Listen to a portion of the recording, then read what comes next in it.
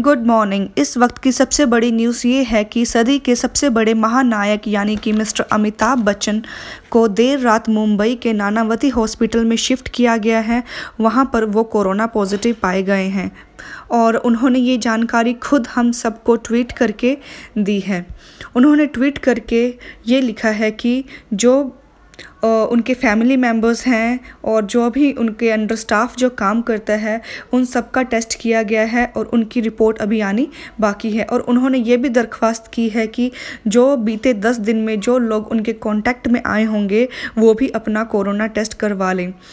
अब अमिताभ बच्चन सदी के सबसे बड़े महानायक हैं और उनकी फ़ैन फॉलोइंग सबसे ज़्यादा है।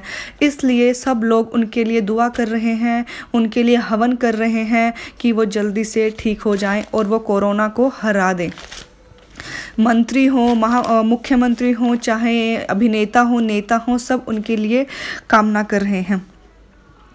और और वो चिंता की बात यह है कि उनकी जो उम्र है वो सतहत्तर साल के आसपास है और इस उम्र में कोरोना का जो ख़तरा है वो और भी ज़्यादा बढ़ जाता है।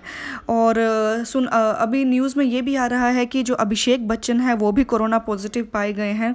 बाकी ज़्यादा चिंता की बात नहीं है क्योंकि उनकी दोनों की हालत है वो स्थिर है, स्टेबल है और नानावती हॉस्पिटल में वो भर्ती हैं। डॉक्टर अंसारी के अंडर उनका ट्रीटमेंट चल रहा है और उनका ऑक्सीजन लेवल भी 95 प्लस है तो इस इसको स्थिर माना जाता है। अभी मतलब उनकी जो एक तबीयत है वो स्टेबल है।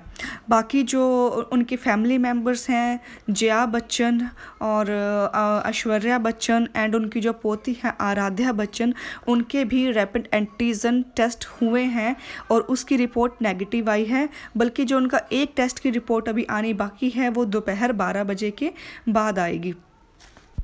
भारत में कोरोना से संक्रमित लोगों की संख्या आठ लाख से ऊपर पहुँच चुकी है, बल्कि इनमें से पाँच लाख पंद्रह हज़ार तीन सौ छियालीस लोग जो हैं वो ठीक भी हो चुके हैं।